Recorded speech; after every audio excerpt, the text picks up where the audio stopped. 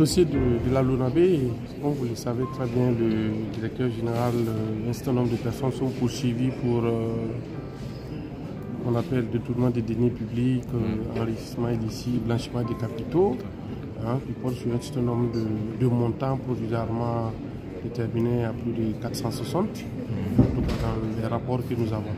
Donc euh, nous sommes conçus aux côtés de la LONAV. Ce matin, nous avions demandé le renvoi du dossier pour naturellement prendre connaissance des pièces du dossier et mieux assurer la défense de notre client. Je crois que le tribunal a accédé à cette demande, mais euh, les avocats de la défense ont estimé qu'il est nécessaire de demander la liberté provisoire de leurs clients en attendant la, prochaine date d'audience.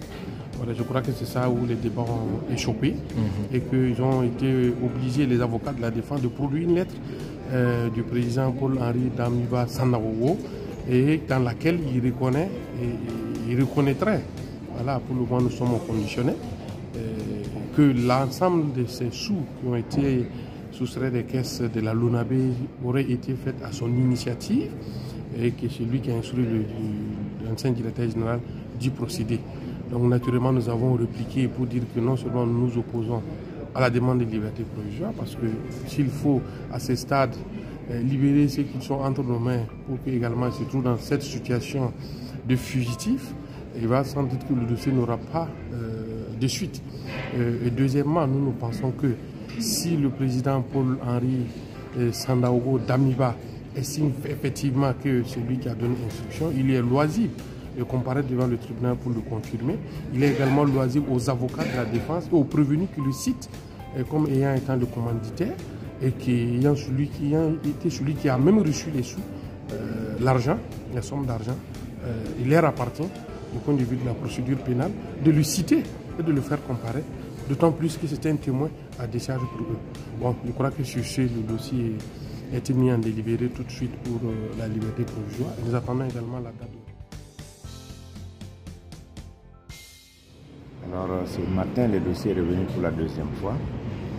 Et euh, le parquet et puis la LUNAP ont demandé le renvoi, mhm. auquel nous avons, on s'est opposé parce que quand même, on a dit que la, question de la détention préventive a duré 25 jours. Il a été déposé à la MACA, nous sommes à plus de 50 jours aujourd'hui. Et c'est eux qui poursuivent et qui ne sont pas à l'État qui demandent le renvoi. Donc on s'est opposé à ça. Mais finalement, le tribunal a ordonné le renvoi au 19. Et sur ce, nous avons demandé qu'il soit mis en liberté. C'est d'autant plus qu'il euh, est souffrant, donc le Et également, euh, pour une question d'équilibre de justice, qu'il soit mis en liberté comme les autres euh, qui ont été mis en liberté. Parce qu'il faut prendre en compte l'égalité de tous devant la loi et devant la juridiction burkinabé. Il n'est pas encore condamné. Donc euh, c'est une présomption. Et lorsque les éléments qu'on recherche se retrouvent dans le dossier et qu'il n'y a rien qu'on puisse modifier, il faut remettre la personne en liberté parce que la liberté est le principe.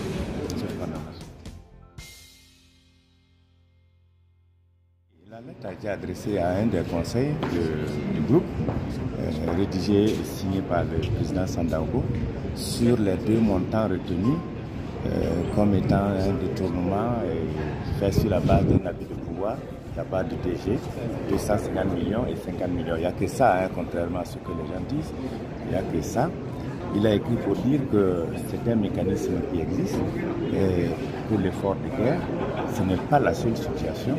Il a même cité d'autres situations antérieures. Il a cité après ça d'autres situations, notamment les 400 millions que nous avons, qui a été, les 400 millions qui ont été évoqués par la presse concernant des militaires qui auraient pris. Il a, il a, parlé de tout ça. Tous ces fonds sont partis de la LUNAVI.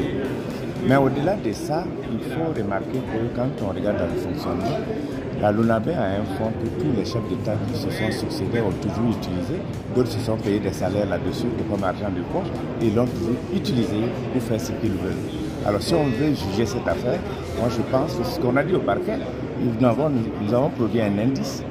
Autant élargir l'enquête pour régler le problème dans le cadre de la refondation qui est voulue et souhaitée par tous, notamment par nos autorités. Il faut profiter de l'occasion, c'est dénoncer déjà pour approfondir la question, savoir qui a fait quoi, pour que demain, ça n'arrive plus. Sinon, on prend un cas isolé parce que la SE est partie, parce qu'on a dit qu'il il a sorti l'argent pour contrer le coup d'État. Mais ça, les trouver, c'est pas vrai. Et c'est là ils sont tombés sur ça. Donc, autant profiter, faire le point de tout ça directement. Moi, c'est ce que je pense. Hein.